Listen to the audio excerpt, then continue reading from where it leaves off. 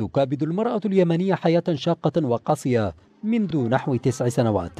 شردتها الحرب وتعرضت لأصناف المتاعب والأوجاع وواجهت الموت والجوع والمرض وباتت في أكثر المواقف بلا مأوى إثر نزوحها من مخيم لآخر طوال السنوات الثمان الماضية. لعل العديد من هذه المواقف باتت واضحة للعيان وأمام أعيننا أيضا. المرأة التي التي تقاسي ويلات الحروب والنزوح في جميع المخيمات التي حقوقها مسلوبة في سواء في التعليم أو في الصحة أو في الأمن والاطمئنان من خلال الصراعات الموجودة في اليمن. وأتمنى من الله سبحانه وتعالى أن أن يكون العام القادم أو أو السنة القادمة في مثل هذا اليوم أن تكون المرأة اليمنية في أحسن حال وأن يكون قد انتهت الحرب والنزوح وكل يعود إلى بيته وأهله. وأن تنتهي هذه المعاناة. هنا في السويداء غرب مأرب تسكن الشابة جليلة لأكثر من ثلاث سنوات. فيما الأخريات تجاوزن الثمانية أعوام داخل المخيم نفسه. تقول أن حياتها تزداد صعوبة عاما بعد آخر. في مكان ليس صالحا للعيش وفي ظل حرب طال أمدها ويتصف مستقبلها بالمجهول المخيف حيث يفتقر المكان لأبسط أساسيات الحياة. فلا تعليم ولا صحة ولا مستقبل يبنى على هذه الخيم المتهالكة التي غيب كل شيء فيها حتى مفاهيم الحقوق لم يعد لها أي معنى. في وقت يحتفل العالم باليوم العالمي للمرأة. ما بولا حقوق مرأة ولا مخيمات مستوية نحتاج للدعم يعني لا حقوق مرأة ولا غذائيات ولا إحنا عايشين بالمخيمات.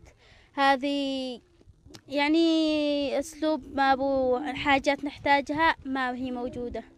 الآن حقوق المرأة يحتفلوا. نحن لا نحتفل بحقوق المرأة. ليش؟ أبدا.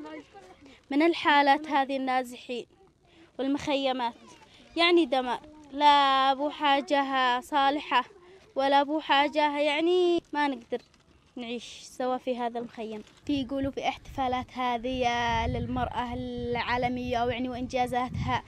في الكثير يحتفلون بس هانا من النزوح هذا والمشاكل. يعني نعاني لا نحتفل لا بعيدة هذا حق المرأة والاحتفالات والإنجازات ولا شيء. وقل نعاني إلى الجفاف نعاني إلى الأمراض إلى الجوع إلى الهلاك من هذه النزوح من جميع النواحي. تخوض المرأة في المخيمات غمار الحياة بجدارة في مواجهة التحديات والمتاعب فهي أم ومعلمة أجيال ومرشدة اجتماعية وطبيبة وغيرها دون أي مقابل مادي وضعت أمامها مسؤولية أكبر من قدراتها.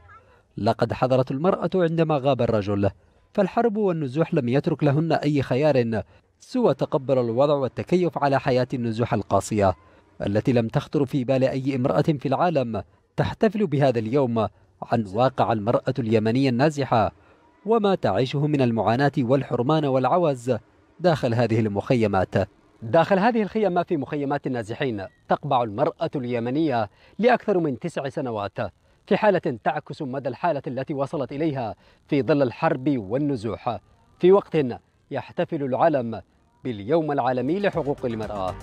عبد العالم دحلال لقناة اليمن اليوم من مخيم السويداء مأرب